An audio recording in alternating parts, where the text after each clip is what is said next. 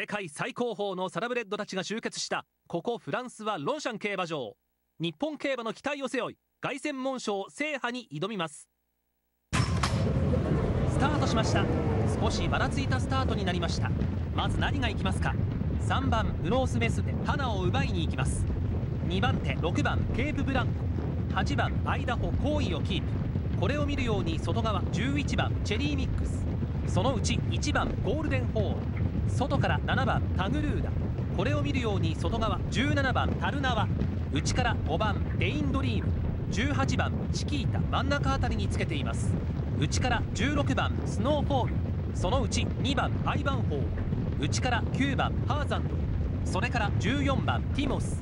1番人気。15番ザルカバ。この位置。内抑えて13番ソーユーシンク。10番フレンチキング。外から12番ユームザイン。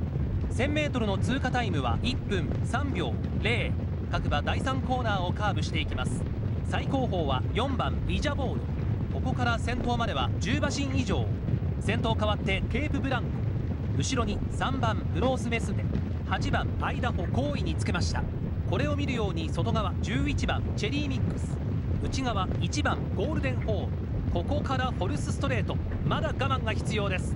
外から7番タグルーダ外を抑えて17番タルナワ外から上がるのはチキータ。16番スノーフォー。ルこの辺りが中段。内から9番ハーザン。内側5番レインドリーム。4コーナーから直線へと向きます。歓声が大きくなって直線の攻防。ケーブブランコ先頭を譲らないか。400を切って先頭ケーブブランコ。その後ブロースメス。2頭が激しく競り合っている。ブロースメス並びそうだ。前の2頭が後ろを離してブロースメスここで先頭になった。ブロースメス突き放しにかかる。そういうシーン。差を詰める。ブロースメス先頭でゴールイン。勝ったのはブロースメス安城は横山武史騎手。凱旋門賞制覇。日本近代競馬史に残る快挙です。2着ケープブラン。